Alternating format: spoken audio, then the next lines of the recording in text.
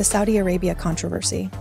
What raised eyebrows wasn't the robot's capabilities, it was the location, and more importantly, the partner.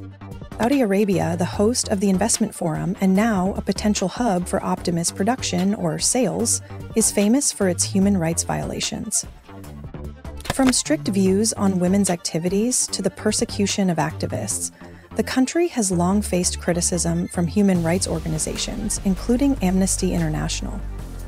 So when Elon Musk, one of the most influential tech leaders of our time, chose this exact country to showcase a robot designed to do what people don't want to do, it made a huge controversial statement Critics pointed out that Musk promised a robot that can move freely, work anywhere, and serve others, in a country where millions of real humans still can't.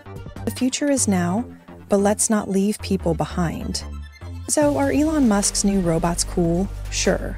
Are they necessary? Well, I don't know about you, but I would like a robot butler.